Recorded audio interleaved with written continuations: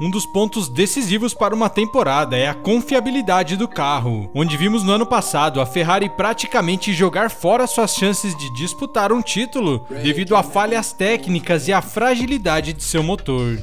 E por mais que estejam dominantes nesse início de ano, a Red Bull levantou preocupações com seu carro, que desde a primeira corrida sofre com alguns problemas, com Verstappen tendo um eixo de transmissão quebrado durante a classificação para o GP da Arábia Saudita e na corrida, os dois carros reclamaram de problemas, com a equipe incentivando os pilotos a reduzir o ritmo para evitar algo maior. E falando na coletiva, o assunto da confiabilidade do RB19 foi levantado, e Sérgio Pérez afirmou que nas duas primeiras corridas tiveram sorte de estar bem tranquilos, sem nenhuma pressão de seus adversários, mas que se tivessem que chegar mais perto dos limites do carro, teriam grandes chances de não conseguir completar as corridas. Pérez afirma ainda que existe essa preocupação dentro da equipe e que já estão trabalhando para melhorar o carro e que espera que consigam resolver esses problemas antes que eles comecem a causar abandonos. Então me fala aí, acha que nesse ano podemos ver a Red Bull sofrendo com a confiabilidade de seu carro?